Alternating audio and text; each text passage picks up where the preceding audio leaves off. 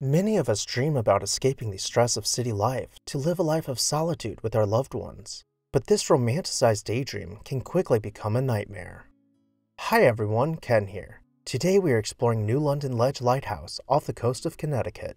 Make sure to hit that subscribe button so you never miss an exciting episode of This House. In the late 1800s, there was a lack of lighthouses to warn ships of hazardous conditions. Off the coast of Connecticut, Dozens of ships were wrecking, causing unnecessary loss of life and interruptions to trade, as entire payloads were lost to the sea. Politicians in Connecticut had had enough tragedy, so they began requesting money from Congress to build more lighthouses.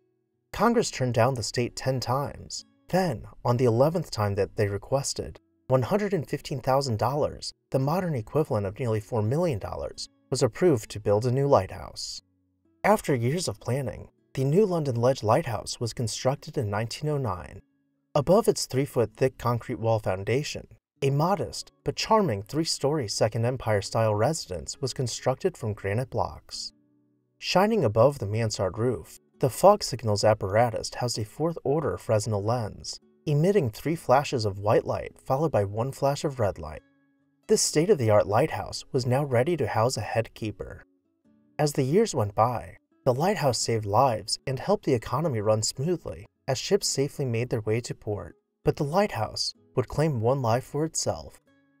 Ernie and his wife sought to escape the hustle and bustle of the mainland and claim a romantic escape, becoming keepers of the lighthouse.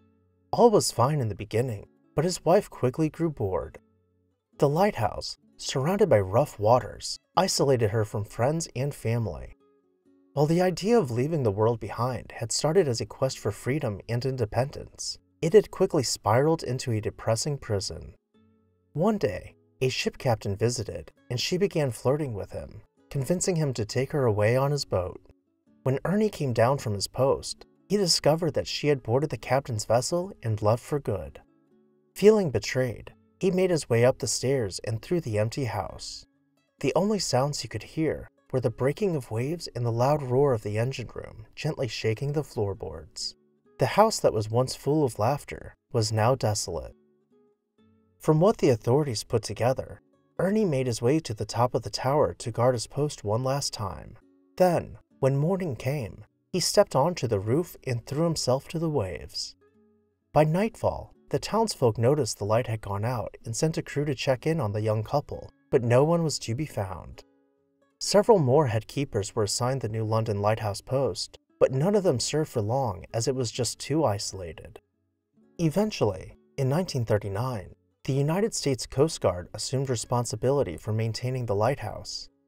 At this time, the Coast Guard crew began recording strange happenings in their journals and reporting odd occurrences to their superiors. Most of them reported loud knocking sounds and devices turning on and off by themselves. While some believed it was haunted by the ghost of Ernie, others attributed the phenomena to outdated wiring and a failing foundation causing the house to make strange banging sounds. Either way, this drove the crew mad. They could not be more relieved to learn that the lighthouse would be automated. One of those crew members, by the name of William Grace, wrote a poem on his last night spent in the lighthouse. Rock of slow torture, Ernie's domain, hell on earth, May New London Ledge's light shine on forever because I'm through. I'll watch it from afar while drinking a brew. What do you think? Let me know your thoughts down below in the comments section. And while you're there, make sure to hit that subscribe button so you never miss an exciting episode of This House.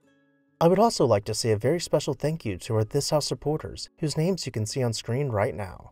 If you would like to see your name on this screen and contribute in part to the production of these videos, join our membership program today. I'll see you next time on This House.